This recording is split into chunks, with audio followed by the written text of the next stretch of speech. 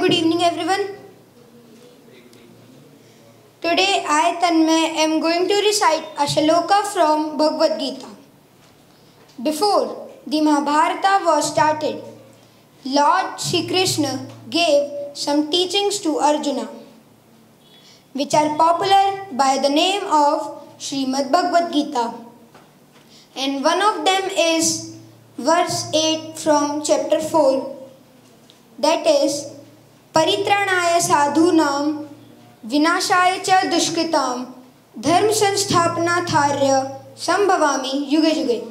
This verse means to protect the righteous to annihilate the wicked and to reestablish the principles of dharma I appear on this earth age after age in simple words Shri Krishna wants to save after every age, I will appear on this earth to protect the correct, to finish the bad ones, and to resume the principles of Dharma. So, at the last, I want to say you all, Jai Shri Krishna. Thank you.